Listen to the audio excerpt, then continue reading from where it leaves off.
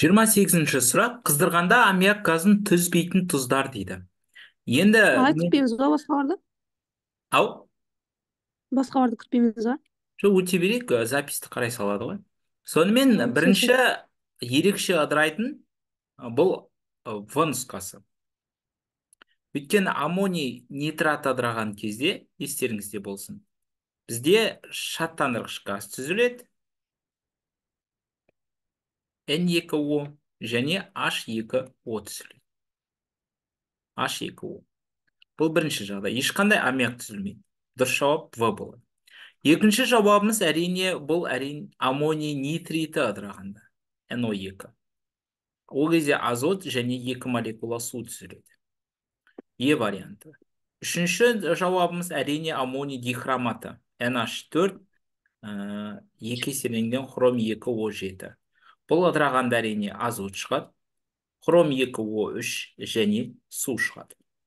Теңестіреміз. Хромымыз тең азотымыз екеуі тең. Енді оттекті теңестіру үшін мында неше қоямыз? Төрт қоямыз. Вроде реакциямыз тең. Сонда осы үш жағдайда ешқандай аммиак түзілмейді. Сонда дұрыс жауабымыз б е және ж жауаптары болады екен. Әрі қарай кеттік концентрлі азот қышқылымен әрекеттеспейтін металл. Оқушылар естеріңізде болсын. Концентрлі азот қышқылымен және концентрлі күкірт қышқылымен бөлме температурасында темір алюминий және хром әрекеттеспейді. Одан бөлек асыл металдар әрекеттеспейді. Асыл металдар олар алтын платина сияқты металдарды айтады. Сонда дұрыс жауап е және не болады екен. С нұсқалары болады екен. Номері отызыншы сұрақ. Күкірт қышқылы өндірісінің екінші сатысы реакция жағдайлары дейді. Давайте күкірт қышқылының екінші сатысын жазып кетейік.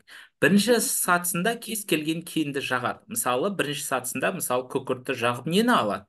Күкірт диоксидін алады. Бұл қайтымсыз реакция. Ал екінші сатысы как раз осы күкірт диоксидінен нені алады? Күкірт триоксидін алады. Оттегі қосу арқылы күкірт триоксидін алады. Бұл әрине экзотермиялық реакция. Теңестірейік. Ә, яғни бізде қуымыз плюс болса яғни дельта h не болады деген сөз? Минус болады деген сөз. Құрметті оқушылар микрофон микрофон. Сонда әрі қарай ә, біздің жағдайымызда бұл гомогенді реакция өйткені барлығы газдар. Екінші бұл ә, дельта h бізде не болады? Минус болғандықтан дельта h минус болғандықтан ол нөлден не болады? Кіші болады с нұсқасы болады және гетерогенді катализ болады. Неге? Өйткені катализатор ретінде ванадий 5 оксиді қолданылады. Ал ванадий 5 оксиді ол иондық байланыс. Иондық байланыс ол қатты. Яғни ә, біреуі қатты екіншісі газ немесе біреуі катализатор қатты ал ә, реагент реакцияға түсетін заттар сұйық болса олар гетерогенді болады. Ал егер барлығы бірдей газ болатын болса олар немесе барлығы бірдей сұйық заттар болатын болса ол гомогенді катализ деп аталады. Бұны тоже білу қажет. Сонда оқушылар бұның бұл есептерді бұл сұрақтарды беру кездейсоқтық емес. Өйткені бұның барлығы мектеп бағдарламасында бар өндірістер. Енді мен қазір бір бір естеріңізге түсіріп айтып шығайын. Алдағы қаңтар айында ұбт да жақсы нәтиже алу үшін алдағы маусымдағы ұбт та жақсы нәтиже алу үшін қандай өндірістерді білу керек? Әрине аммиак өндірісі габбер процесі күкірт қышқылын алу толығымен білулеріңіз керек тыңайтқыштар өндірісі мұнай өндірісі табиғи газ өндірісі каучук өндірісі ә, металдарды өндіру. Яғни шойын болат ә, ә, түрлі металлургияның түрлері бар иә? Электрометаллургия осының барлығын білу керек. Және пластмасса өндірісі то что мектеп бағдарламасында бар өндірістерді жақсылап қазір оқып конспект жасауларын қажет. Сол кезде бұл бұндай сұрақтардан оңай жауап бере аласыңдар. Номер 31 сұрақ. Мына тотығу тотсану реакциясында құрамда күкірт бар заттардың алдына қойылатын коэффициент дейді. Енді қараңыздар давайте күкірттің алдына қандай коэффициент қоюға болады? Соған көз жеткізейік. Күкірт ол қандай реакцияларда қосылыстарда бар? Міне мына жерде бар және міне мында бар егер біз мында екі қойсақ мында алты қоюымыз керек. Сондықтан екі алты деген вариант жоқ. Сондықтан только мына жерге бір қойсақ мына жерге неше қоюымыз керек? Үш қоюымыз керек. Өйткені күкірт мында үшеу ғой мында да үшеу.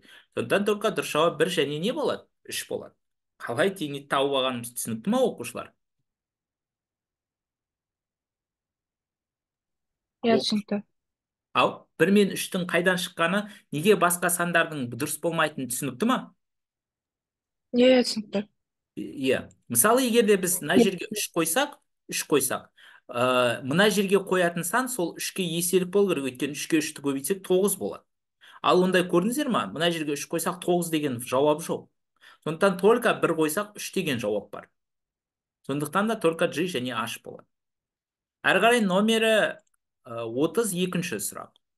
Төменде электролиттер үшін тек металл катион мен гидроксид анионын ыдырайтын заттар дейді. Бұл әрине негіздер иә? Бұл электролит диссоциация теориясы немесе арениус теориясы бойынша күшті негіздер как раз ә, қышқыл металл катион мен гидроксид анионын ыдырайды сонда дұрыс жауап б д және не болады екен? Ж болады. Қалғандары ешқайсысы келмейді. Номер 32 сұрақ сіздерге түсінікті деген ойдамын. Номер 33 сұрақ.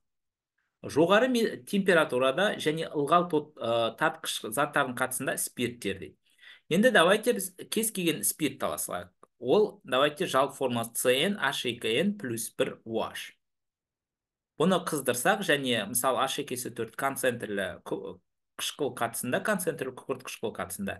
Әрине CN H2N плюс не шығады? Су шығады. Ал CN H2N деген ол қандайлардың қосылысы? Алкендер сондықтан дұрыс жауап этилен және не болады су болады солай емес пе яғни алкен мен су шығады сондықтан дұрыс жауап б және с нұсқасы болады. Екен келесі мыс пен темір қоспасының концентрлі азот қышқылымен әсер еткенде үште отыз алты литр газ бөлінді дейді. Бұл жерде жаңа айтып өттік концентрлі азот қышқылымен темір хром және алюминий әрекеттеспейді. Сондықтан бізде мыс әрекеттеседі. Мыс әрекеттескенде әрине 2 моль азот диоксиді түсіреді. Сонда мынауымыз үште отыз алты мынауымыз x1 мынаның малярлық массасы 64 мында 2 көбейту 22-де 4 сонда x1-ді тапсаңыздар 4-те 8 грамм шығады. Әрі енді тұз қышқылымен әрекеттескенде 4-те 48 литр газ бөлінді дейді. Енді бұл жағдайда тұз қышқылмен только не әрекеттеседі темір әрекеттеседі темір әрекеттескенде сутегі газы бөлінеді. Ә, темірдің валенттілігі екі болады қышқылдармен сумен ә, және тұздармен әрекеттескенде темір екі валентті болады. Ал оттекпен хлормен күшті тотықтырғыштармен әрекеттескенде темір үш валентті болады. Оны білесіздер деген ойдамын. Мында темір де эквивалентті сутек те эквивалентті сондықтан өзара тең сәйкесінше мынауымыз төртте қырық сегіз мынауымыз x мында малярлық массасы елу алты мында жиырма екіде төрт. Сонда x екіні тапсаңыздар он бірде екі грамм. Енді бізде ә, қоспаның да массасын сұрап тұр иә сонда төртте сегізге он бірде екіні қоссаңыздар он алты грамм шығады. Сонда дұрыс жауап а болады он алты грамм болады және төртте сегіз грамм мыс болады. Сұрақ бар ма оқушылар?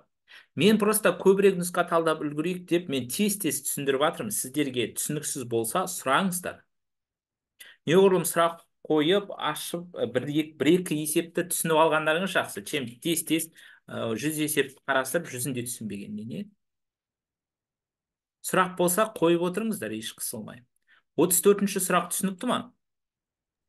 Иә түсінікті. Түсінікті номері отыз бесінші сұрақ. Бұл да ә, неге арналған есеп екен иә ә, былай дейді. Пропорцияға арналған есеп өйткені бір заттың мәні беріп екінші заттың мәнін сұрап тұрса ол пропорцияға арналған есеп иә массасы 684 грамм мальтозаның гидролиз кезінде түзілген моносахаридті жаңа дайындалған мыс екі гидроксидіне қосып қыздырғанда қызыл түсті тұнба пайда болды дейді. Тұнбаның массасы дейді. Мальтоза деп отырғанымыз бұл с жиырма с он екі әрине с он екі h жиырма екі не болады?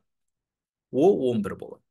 Бұл әрине ә, глюкоза түсіреді глюкоза ары қарай ә, немен әрекеттескенде мыс гидроксидімен әрекеттескенде мыс екі оксиді түсіреді. Сонда әңгіме мыс екі ә, мыс бір оксид кешірім өтінемін мыс бір оксид туралы. Өйткені бұл қара түс қызыл түсті тұнба. Ал мыс екі оксиді ол қара түсті тұнба. Оны жақсы білесіздер деген ойдамын.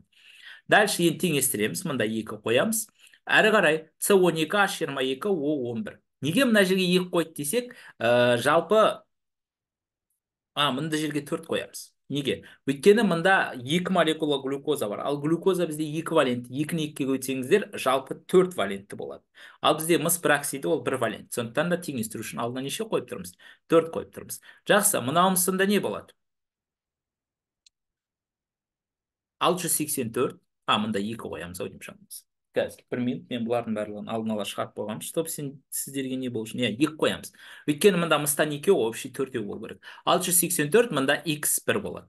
А x болады жай ғана мында үш жүз қырық екі мында екі көбейту алпыс төртті екіге көбейтеміз жүз жиырма сегіз оған он алтыны қоссақ жүз қырық төрт. Сонда x тапсаңыздар бес жүз жетпіс алты грамм шығады. Сонда дұрыс жауап б және с нұсқасы. Болады. Оқушылар мен мыналарды қалай теңестіріп жатқаны түсінікті ғой иә? Біз ешқандай реакция теңдеуін жазбаймыз лайфхак бойынша теңестіріп кете береміз. Неге мыс екі оксидінің алдына екі қойғаны түсінікті ғой? Түсінбесеңіздер сұраңыз Иә.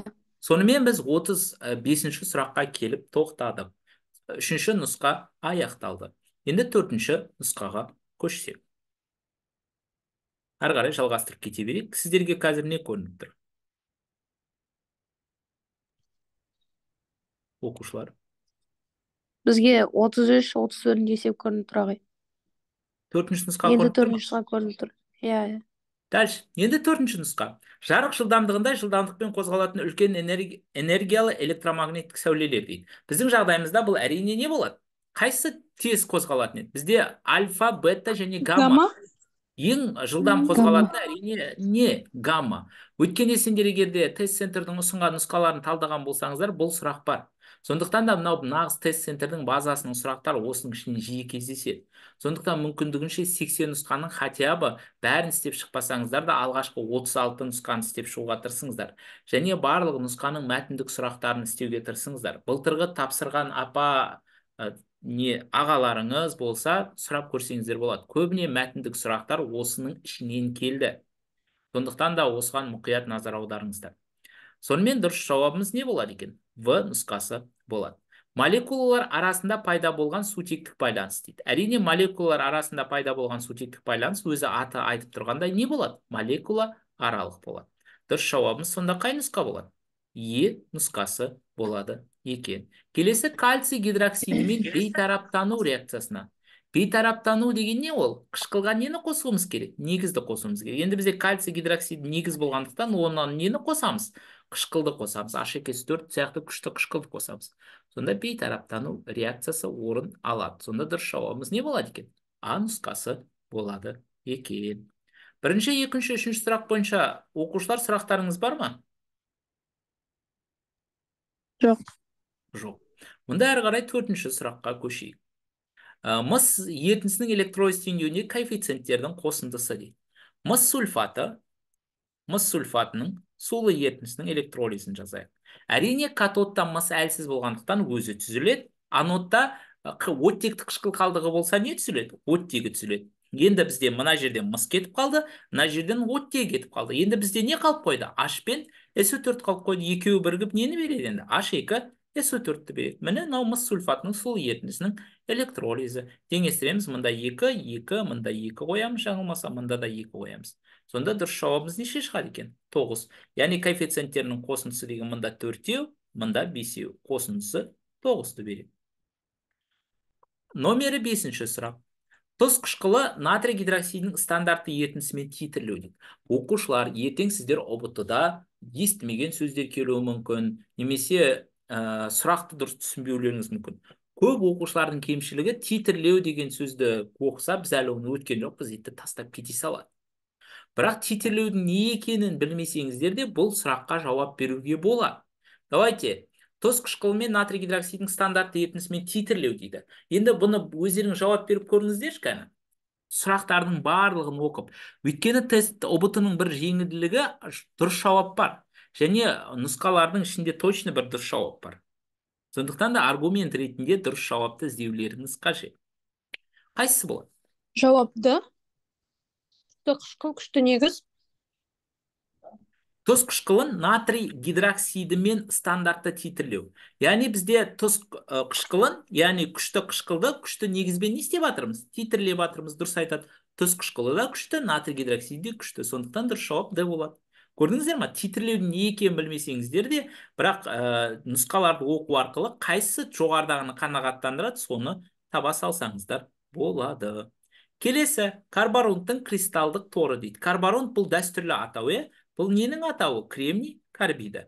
Кремний карбиді кремний диоксиді алюминий оксиді және хром үш оксиді бұлардың ара кристалдық торы қандай болады?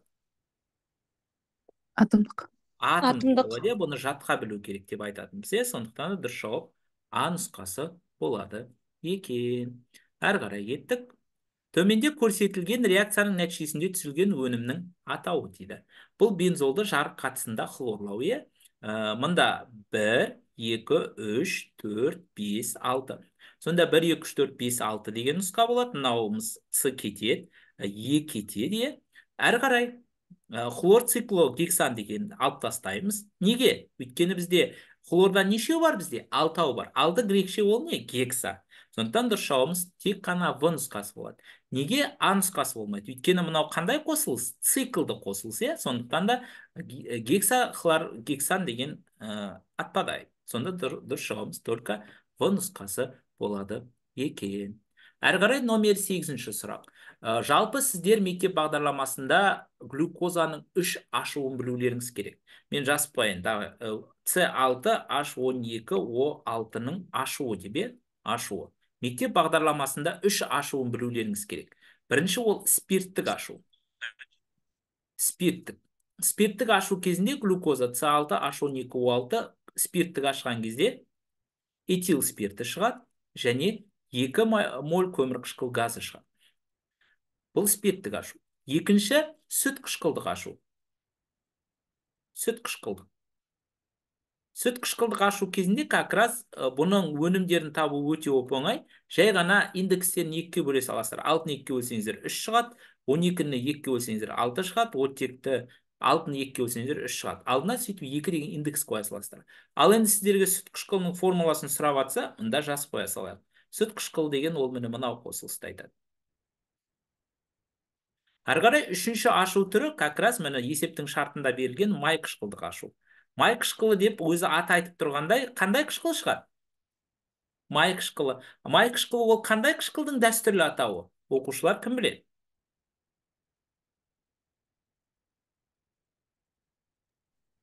Бутан пентан? Бутан қышқылының дәстүрлі атауы иә сондықтан да бутан қышқылы және көмір қышқыл газы және сутек газы бөлінеді екен. Мында екі қоямыз мында екі қоямыз. Сонда өнімдердің алдында коэффициенттердің қосындысы бізде нешені береді екен? Бесті береді. Дұрыс жауабымыз сонда с нұсқасы болады екен. Мына скрин жасап ала қойыңыздар. Өйткені бізде қышқылдардың глюкозаның ашуының мектеп бағдарламасында осы үш түрі кездеседі. Спирттік ашу май қышқылдық және сүт қышқылдық ашу.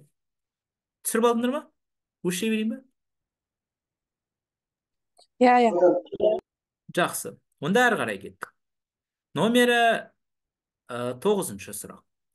Ә, 15-те 6 енді бұл зат мөлшерін табуға арналған есеп иә бұл қиын емес. Көлемді неге бөле саламыз? Ге бөлеміз. Сонда 156-та 8-ді бөлеміз нешеге? 22-де 4-ке сонда жаңылмасам бізде қанша шығады? 7 шығады екен иә 7 шығады екен. Әрі қарай пропан этилен газдары дейді. Пропан этилен газдар қоспасы бар. Склянка арқылы бром суын өткізгенде жалпы масса қоспаның массасы 0,48 граммға артты дейді. Реакцияға қатысқан этиленнің зат мөлшері. Әрине бізде пропан ол бром суымен әрекеттеспейді тек қана этилен әрекеттеседі. Сонда С2H4 стрелка не болады? Бром 2 болады. Мынауымыз 0,48 грамм мынауымыз x мынауымыз зат мөлшерін тап деп тұр. 1 мында 160 болады. Сонда x тапсаңыздар 0,003 болады. Дұрыс жауабымыз е көбіне оқушылар ә, яғни есептерде оқушылардың көбісі мысалы есептің бас жағын оқиды дағыны или полный оқыған жағдайдың өзінде де бір түсінбеген сөз кездесіп қалса бүкіл есеп тастап кете салады. Олай болмау керек. Егер бір мән берілсе обычно ол пропорцияға арналған есеп. Көбіне есептің жауабы бір ғана немен шығады? Пропорциямен шыға салады. Сондықтан да бұндай есептерде қатты ә, не қылмай ә, қобалжымай полный шығарып үйрену қажет. Ковалентті байланыстың бағытталуына байланысты. Енді бұл ковалентті байланыстың қасиеті яғни байланыс тақырыбы бұл мін, ұбт та міндетті түрде келетін тақырыптардың біріне жатады. Сондықтан да бұл тақырыпты да түсінбей жүрсеңіздер бір еске түсіріп шығыңыздар. Әрине бағыт, бағытына байланысты тәуелді бұл әрине полюстену дұрыс жауабымыз е болады. Келесі аммиак сутек ионынан өзара байланысқан азот атомының бөлінбеген электрон жұбының орналасқан орбиталь дейді. Бұл енді тоже білу керек сұрақ s орбитальда орналасады келесі. Бұл әрине тепе теңдікке арналған есеп. Номер 13 сұрақ ә, бізде былай дейді. Реакция теңдеуі берілген.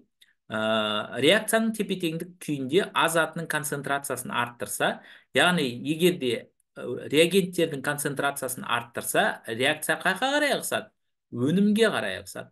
Өнімді басқаша біз не деп айтамыз? Оңға қарай ығысады деп айтамыз.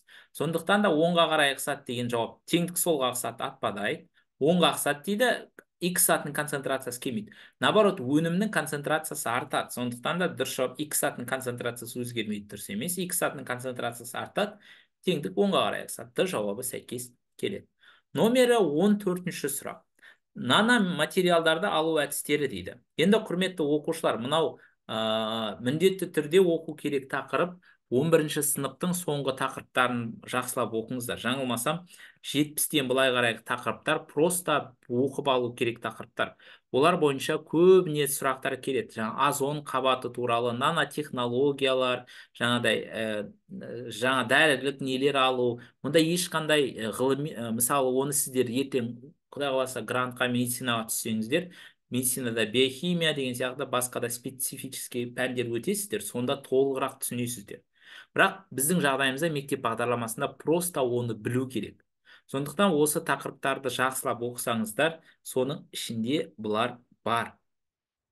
Сондықтан біздің жағдайымызда номері 14 сұрақта бізде дұрыс жауабымыз ц нұсқасы болады.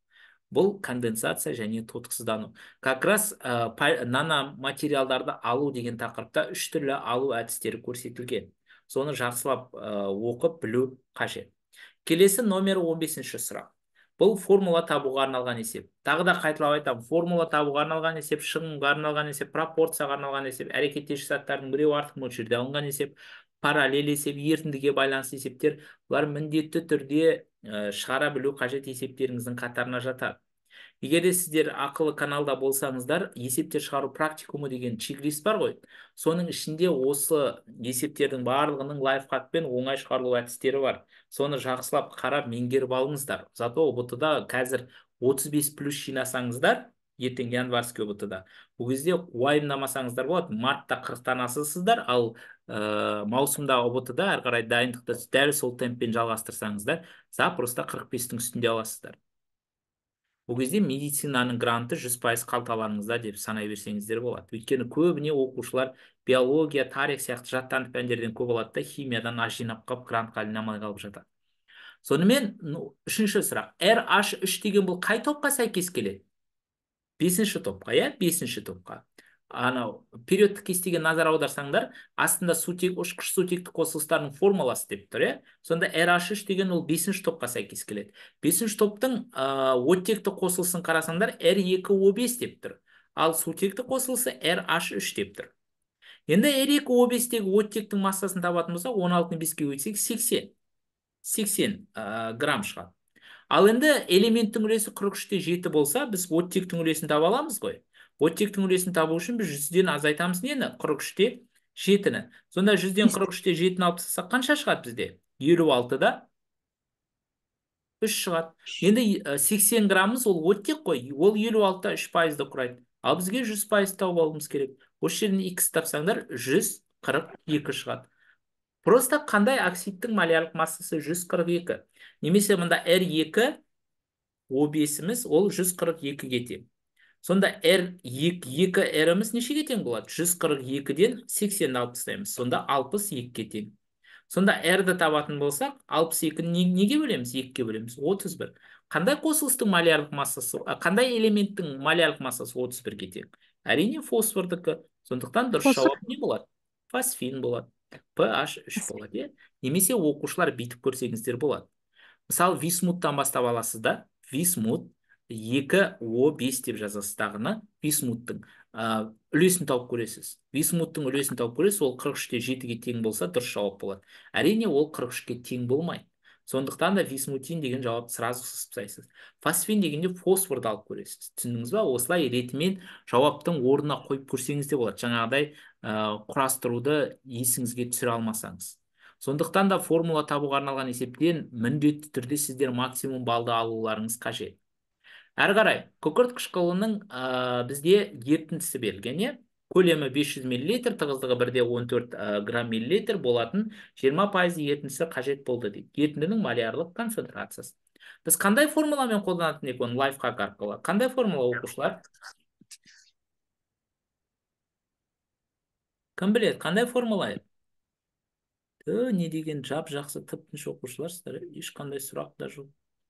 Омега бір көбейту омега көбейту не болады. Ро көбейтілген 10 бөлінген масса еріген зат деген формуланы қолдана саламыз иә сонда бірде 14-ті тығыздықты көбейтеміз 20 пайызға оны көбейтеміз 10-ға 10 тұрақты шама күкірт қышқыл болғаннан кейін 98-ге бөле саламыз. Сонда 2-де 32 шығады. Бұл лайфхакпен шығару әдісі дәстүрлі әдіспен шығарып уақыт жоғалтып жатудың қажеті жоқ. Дұрыс жауабымыз 16 цс болады екен. Әрі қарай азот бойынша салыстырмалы тығыздығы дейді. Сразу нені тауып аламыз? Mx-ті тауып аламыз. Сонда бір бүтін алты жүз қырық үшті көбейтеміз азоттың малярлық массасын азот 28 сонда бізде шығады екен 46 жауаптардың ішінен қайсысының массасы 46-ға тең соны таба саламыз дұрыс жауабымыз в нұсқасына сәйкес келеді. Өйткені этанолдың малярлық массасы 46 екен білесіздер деген ойдамын. Номері 18 давайте 18 былтырғылары көбіне оқушыларда ә, көбіне қиындық келтірген ол осы белгісіз затқа байланысты мәтіндік есеп болды. Егер де жақсылап оқып анализ жасасаңыздар бұған байланысты сұрақтарды да жауаптар арқылы жауап беру ә, нұсқалар арқылы жауап беру қиын емес. Былай дейді. Бізде а заты берілген. Бірінші давайте мен сіздерге толық қалай дұрыс жауап беруді үйретейін. А заты а затын күкірт қышқылына қосып тұр. H әкесі төртке. Ә, сонда ерітінді көк түсті ә, зат түзілді дейді. Егер ә, яғни бізде ерітінді қандай түсті? Көк түсті иә? Көк түсті. Осыдан ақ білуге болады. Бізде жалпы мектеп бағдарламасында көк түске боялатын ерітінділердің саны көп емес. Осы жерден ақ сразу әңгіменің не туралы екенін білуге болады. Мыс екі катион туралы екенін білуге болады. Солай емес па өйткені жауаптарда да мыс туралы бар. Екінші сұрақ. Егер осы, осы бөлме температурасында б затының артық мөлшерін қосса көкшіл суда ерімейтін с заты не істейді дейді? Көк түсі зат түзілді егер осы затқа бөлме температурасында в затының артық мөлшерін қосса дейді яғни бізге жаңа көк етіндімізге яғни біздің жағдайымызда көк етіндіміз енді мыс сульфаты ғой. Мыс сульфатына б затын қоссақ не дейді? Суда ерімейтін с заты пайда болады дейді. Яғни с заты ол суда ерімейді дейді. Ал егер сызатын спет шам, ә, шамының жалында қыздырса қара түсті яғни төртінші ә, үшінші сызатын қыздырса сызатын қыздырса қайтадан не түзіледі екен? А заты және енді су түзіледі. Енді бұл есептердің шартын қайсысы қанағаттандырады? Мысалы аны алатын болсақ а вариантын алатын болсақ мында мысты қоятын болсақ мына жерге ол есептің шартын қанағаттандырмайды сразу. Неге? Өйткені мыс мыс біріншіден. Ол қара түсті емес өйткені а заты бізде қара түсті деп айтып тұр. Екіншіден мыс ол сұйытылған күкірт қышқылмен әрекеттеспейді сондықтан а жауабы сразу атпадайды д е атпадайды. Өйткені қорғасынның және мырыштың ерітінділері зарядтар екі ерітінділерінің түстері көк емес. Сонда бізде дұрыс жауап только б және не қалады? С нұсқасы қалады. Енді қараңыздар бізде мыс сульфатына мыс гидроксидін қоса аламыз ба? Б ретінде. Қоса алмаймыз. Өйткені ол ә, катион бірдей болса олар әрекеттеспейді. Сондықтан только дұрыс жауап не қалады? С қалады. Қалай анализ жасағанымыз түсінікті ма оқушылар? Иә. Сондықтан да именно бұл жерде концентрацияны жоғалтпай қобалжымай асықпай есептің шартын түсініп одан міндетті түрде параққа жаңағыдай жазып көз алдарыңызда көрініп тұрса ол кезде миларыңыз жақсы ойланып дұрыс шешім қабылдай алады адамның миы мына ақпарат алдында көз алдында көп болса соғұрлым дұрыс жауап беру ықтималдығы артады. Сондықтан жаңа мен мынандай схемасын сызып сыздым ғой. Осылай ерінбей парақтарыңызға сызып алыңыздар. Өйткені төрт сағат деген төрт сағат деген өте көп уақыт ол. Төрт сағатта біраз нәрсе тындыруға болады. Көбіне оқушылар жаңағыдай бір сағатты тез тез апыр топыр өтірік істеп тастайды да сосын атып шығады. Мен білмегеннен кейін шыға салдым деп. Олай істеуге болмайды. Әрбір сұрақты мұқият оқып сызып сөйту керек иә әрі қарай номер 19 сұрақ. Былай дейді. Көлемі 40 миллилитр концентрациясы 0,25 малярлы болатын барий хлорид ерітіндісіне массасы 284 грамм 10 пайыздық натрий сульфатын қосқанда алынған тұнбаның массасы. Бұл әрине әрекеттесуші заттардың біреуі артық мөлшерде алынған есептің шығару алгоритмі бірінші біз не істейміз? Ә, барий хлоридінің зат мөлшерін тауып аламыз зат мөлшерін табу үшін концентрацияны көлемге көбейтеміз. Сонда нөл бүтін жиырма бесті көбейтеміз нешеге нөл бүтін нөл төртке. Яғни нөл бүтін жиырма бесті көбейтеміз нөл бүтін нөл төрт литрге. Яғни миллилитрді біз неге айналдырып жатырмыз? Литрге айналдырып жатырмыз. Сонда бізде нөл бүтін нөл бір моль шығады. Әрі енді бізде барий хлориді иә барий хлор екі бізде әрине тұнбаға түсетін бұл барий сульфаты. Бізде осыны тап деп тұр. Мынауымыз нөл бүтін нөл бір мынауымыз x мынауымыз бір астына зат мөлшерін қоя саламыз x бір. Мында 233 жаңылмасам x тапсақ екіде 33 грамм шығады. Бұл x бір. Енді дәл осылай натрий сульфат арқылы есептейміз. Енді давайте натрий сульфатының малярлық массын просто массасын тауып алайық. Натрий сульфатының ол үшін біз 284 граммды көбейтеміз 0,1-ге неге? Өйткені 10 пайызды біз ойша 100-ге бөліп алдық. Сонда 0,1 сонда 28-де 4 грамм. Әрі қарай натрий 2 SO4 стрелка не болады? Барий SO4 әрекеттесуші заттардың біреуі артық мөлшерде алынғанмен ерітіндінің есебін қосып берген ғой. Көрдіңіздер ма сөйтіп с деңгейінің есебін шығарып жүрген мынауымыз 28-де 4 мынауымыз x2 мынауымыз 233 енді мынаның малярлық массасын есептеу керек. 96-ға қосам 46-ны 142 шығады сонда. 142 сонда x2-ні тапсақ әрине біз 140 28-де 4-ті көбейтем 233-ке бөлемін 142-ге сонда 46-да 6 46-да 6 қайсысының мәні кішкентай сол жауап дұрыс болады. Біздің жағдайымызда әрине 2-де 33 деген жауап дұрыс. Д нұсқасына сәйкес келіп сұрақ бар ма? Оқушылар. Ағай нормально сұрақ жоқ нормально все давайте нормально болса әрі қарай кеттік мынау ненормальный есеп сияқты ғой давайте осы ненормальный есеп шығарамыз фенол мен этанол қоспасын натриймен толық әрекеттестіргенде төртте қырық сегіз литр сутек газы түзілді дейді дәл осындай массадағы фенол мен этанол қоспасын натрий гидроксидімен өңдегенде 17-де 4 грамм тұз түзілді. Бастапқы қоспадағы фенолдың массалық үлесі дейді. Оқушылар естеріңізде болсын. Фенол мен спирттің айырмашылығы фенол ол сілтімен әрекеттеседі. Спирттер сілтімен әрекеттеспейді. Сонда бізде С6H5OH фенол. Ә, мысалы натрий OH пен әрекеттесіп не түсті деген сөз? С6H5O натрий. Міне мынау біздің тұзымыз. Және су түсті деген сөз. Мынау тұздың массасы 17-де 4 грамм дейді. Мынауымыз біздің не болады? X1 болады. Давайте біз мынаның зат мөлшерін тауып ала салайық. Мынаның зат мөлшері 1 деп фенолдікі ал енді мынаның малярлық массасын табуымыз керек. Жетпіс жетіге қосамын он алтыны оған қосам жиырма үшті. Мынау жүз он алты шығады екен жүз он алты. Сонда x бірді тапсақ он жетіде төртті бөлем жүз он алтыға сонда нөл он бес моль нөл он бес моль шығады ал енді натрий мен спиртте ә, фенол да әрекеттеседі яғни с алты h мен сендерге түсінікті болу үшін просто бәрін жазып көрсетіп жатырмын С6H5O натрий, натрий фенолаты және H2 газы түзіледі. Теңестіру үшін барлығының алдына екі қоямыз сутектен басқа. Дәл солай этил спирті де әрекеттескен кезде екі натрий нәтижесінде С6 С6 емес әрине С2H5O натрий қосу H2 шығады енді есептің шарты бойынша мынау бөлінген газдың көлемі қанша дейді? Төртте қырық сегіз дейді. Онда сутегі газының біз зат мөлшерін тауып аламыз ғой. Төртте қырық сегізді бөлеміз жиырма екіде төртке. Жиырма екіде төртке бөлеміз. Жиырма екіде төртке. Сонда нөл бүтін оннан екі. Енді қараңыздар. Мында коэффициенттерге назар аударсаңыздар коэффициенттерінің қатынасы мына жерде неше тұр? Екі тұр а мына жерде бір тұр. Екінің бірге қатынасындай көрдіңіздер ма екі реакцияда да.